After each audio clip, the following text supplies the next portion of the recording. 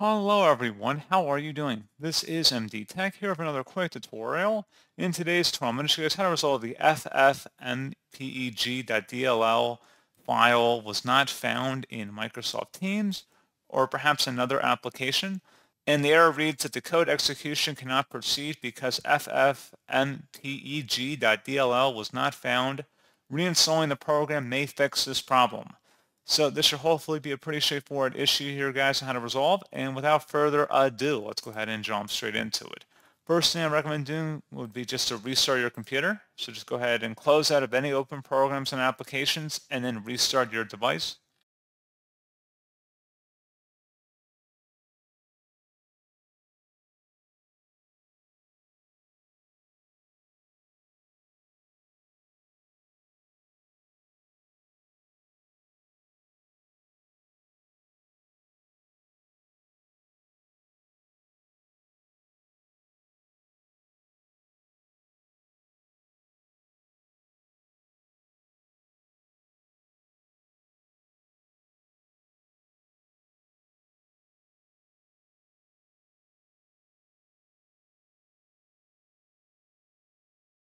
And then once you're back in the Windows, hopefully that was able to help resolve the issue just in itself. It really shouldn't have been um, that complicated, just restarting the program, restarting the application.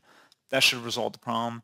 If you're still having the issue, something else we can try here as well would be to open up the search menu and type in CMD, best match, circle back with command prompt. Go ahead and right click on that and select run as administrator.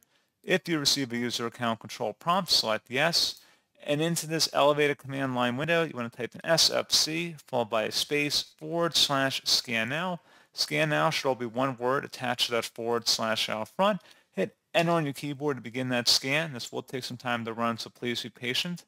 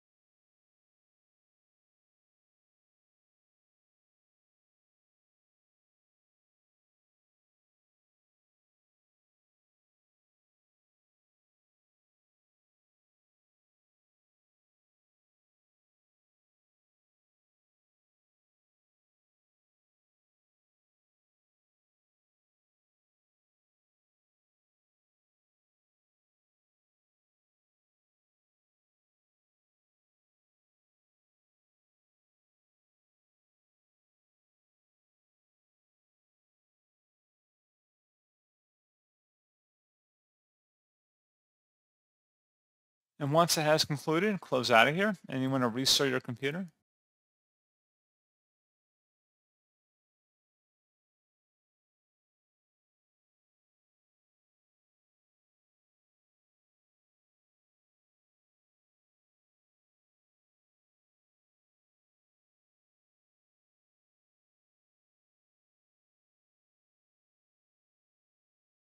And there you go, guys. Hopefully at this point your issue has been resolved. And as always, thank you for watching. I do hope I was able to help you out, and I do look forward to catching you all in the next tutorial.